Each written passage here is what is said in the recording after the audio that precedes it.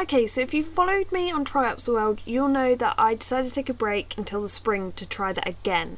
So instead of just waiting and doing nothing, I figured I'd go and find myself a new little nature project to do. And I found Ant World. Now this just reminded me of when I was really little and I wanted Ant World so much, but my mum wouldn't let me have it because ants in the house and all that.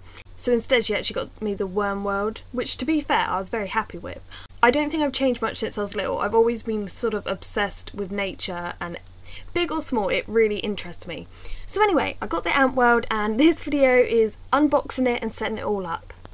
When you first open it, you of course get a manual. I really need to read through this because I always forget to read through manuals and they do actually come in handy. Then you get parts of the tank that you have to put together and the sand which will be the substrate. You also get a pipette because pipettes come with all of these sets and tubing and more of the tank. So I'm going to now go and put that together.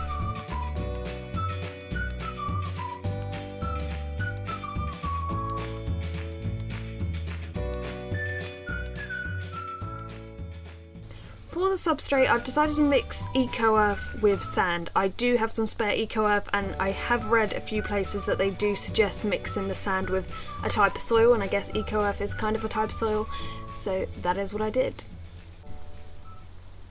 Putting this together was definitely messy. I don't know how young kids are meant to just be left to do this because I found it a bit of a challenge to be honest. Um, when you're putting it together, you have to have it in the stand because if you don't, um, when you're filling it up with sand, which is hard enough, it gets into tiny, tiny gaps, and then you can't fix the tank back together again, and then it starts leaking, and it's just a mess. So, to be honest, I had to do this twice to get this right. But it's all good now.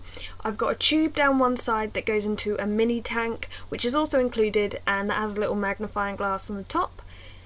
Then on the lid of this whole tank, it's quite small, it's a little square, there is a lid that you can take off. And when I first saw it, I actually thought that it just balanced on top of there. I was like, that isn't very secure. But you do have to give it a little bit of force and push it in there.